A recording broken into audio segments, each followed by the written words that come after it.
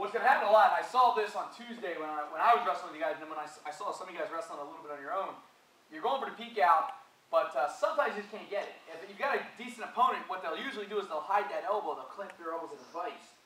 Then it makes the peek out not impossible, but pretty difficult, okay?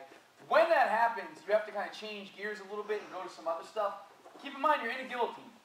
So the danger is always there. So you, you really got to be like, okay, you know, you have to have a, number one's got to be drilled, you got to have a game plan. You got to say, okay, I can do this, this, or that. An easy move is called a drag out, okay? I'm here. Uh, yeah, arm in.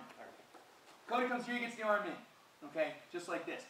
This we're going to start real simple. He gets in here, he's got the arm in.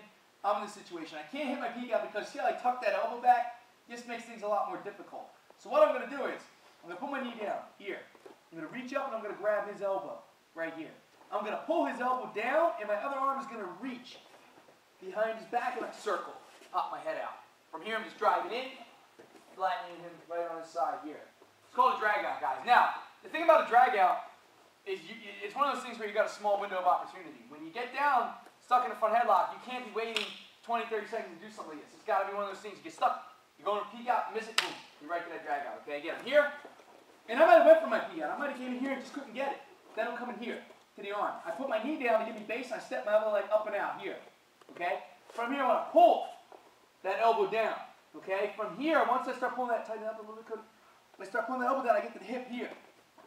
Like this, guys. Then look, I'm rolling my head out. Rolling, rolling, rolling my head out here. From here, I'm just driving in and on top. Just like so. Again, we're here.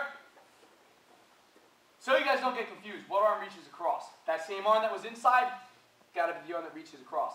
And sometimes if you have trouble getting to that elbow, like Cody locks up, I can't get to the elbow easily, I can always pull the arm down with the other arm and then grab here. Then look, guys, I'm coming up, that kind of an awkward angle, there, there you go. And I'm going over the back. Then I'm just going to roll my head out, now I'm driving in, and finishing right here. All right? So let's try that a couple times. Go drag out, guys. Good technique for sure.